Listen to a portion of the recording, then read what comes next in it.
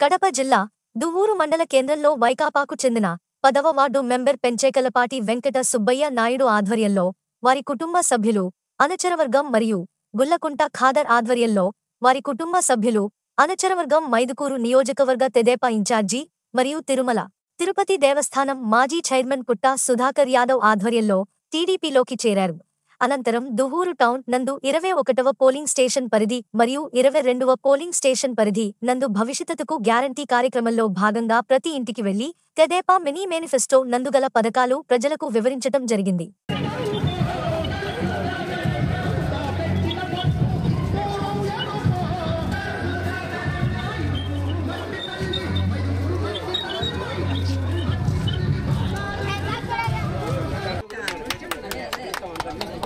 మచ్చా శ్రీనివాస్ గారిని సాధారణంగా పాటలకు ఆహ్వానిస్తున్నాం.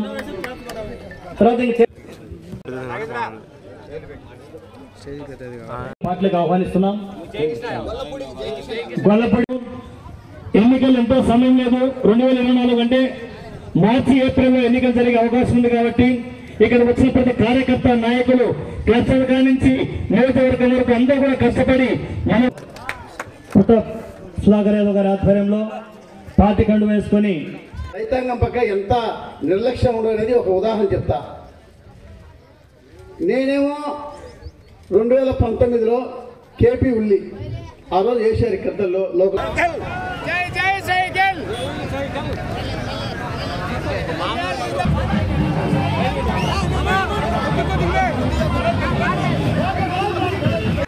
సాయం చేయాలి. మనం అన్ని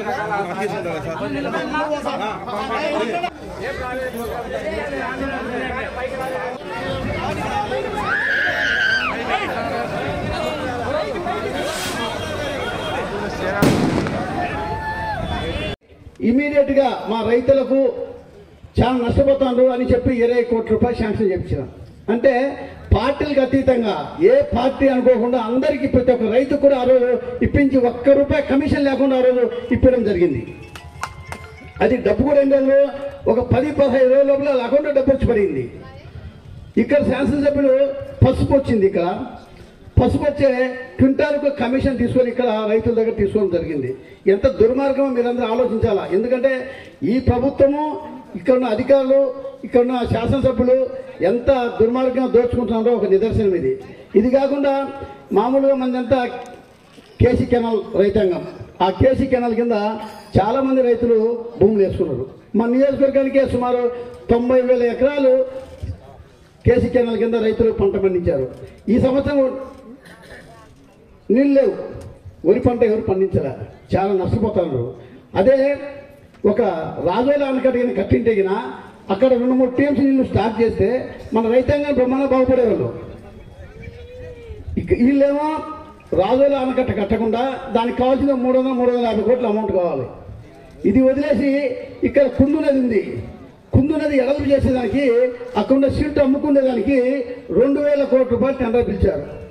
రెండు వేల కోట్లు టెండర్ పిలిచి ఆ మన్ను పక్కనేయడము ఇక్కడి నుంచి మళ్ళా ఒక టా ఒక లారీ వచ్చి ఒక ఐదు వేల రూపాయలు బయట అమ్ముకోవడం అంటే వాళ్ళు దోచుకునేకి ఏ రకంగా డబ్బులు వస్తాయా? రైతులు పట్టించుకోకుండా మేము ఏ రకంగా మేము దోచుకునే మాకు అమౌంట్ వస్తాయా? అనే ఆలోచనలో ఉండరు కానీ రైతాంగ పక్షాన శాసనసభ్యులు కానీ ఆ రకంగా ఉన్నటువంటి జగన్మోహన్ రెడ్డి గారు కానీ లేదు ఆయన ఎప్పుడు దోచుకోవడము ఎక్కడెక్కడ డబ్బులు వస్తుందో మాకు నెలకి ఎంత కమిషన్ వస్తుందనే ఆలోచనలే కానీ వాళ్ళకు ఇక్కడ ప్రజల గురించి వదిలేసి మనందరం కూడా ఒక అవకాశం ఇవ్వాలని చెప్పి ప్రజలు ఆలోచించి ఆయన గెలిపించారు. ఆ గెలిపించి మనల్ని ఇప్పుడు నట్టేట ముంచి మన రాష్ట్రాన్ని అప్పుల పాలు చేసి నడిపిస్తాను ఈ ఈ జగన్మోహన్ రెడ్డి. అదే రకంగా ఇప్పుడు వెంకటసుబ్బయ్య చెప్పారు దూర అభివృద్ధి గురించి. మన తెలుగుదేశం పార్టీ హయాంలో ఏం అభివృద్ధి జరిగింది?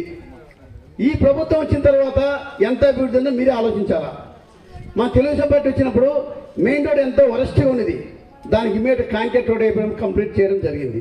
అదే రకంగా ఎక్కడ సిమెంట్ రోడ్డు మేము వేయించాము. ఎక్కడెక్కడ కావాల్సిన ఈ ఈ కరెంటు లైట్లు ఉన్నాయి కదా ఆ బల్బులు కూడా మేము వేయించిన బల్లే ఇప్పుడు ఇప్పుడు వరకు ఉన్నాయి. ఈ ప్రభుత్వం బల్బులు వేపించలేదు ఏమి వేయించడం మరి బటన్ నొక్కుడు అంట బటన్ నొక్కుడు ఏంటి మండపు తీసుకొని మనకే నొక్కుతాను ఆయన. ఆయన ఆయన సొంత డబ్బులు నొక్కడంలే. మన దగ్గర నుంచి లక్ష రూపాయలు వాడుకుంటే మనకు పదివేల రూపాయలు మనకు